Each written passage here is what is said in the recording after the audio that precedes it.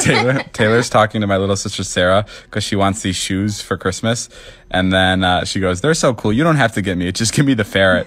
and Taylor goes, "Ha ha ha!" And Sarah goes, "David gets alligators every day, and you're asking how to get a ferret." In my last story, we talked about a ferret, and this person tags me and goes, "We heard David Dobrik say ferret. Patrick is a big fan. He's a ferret."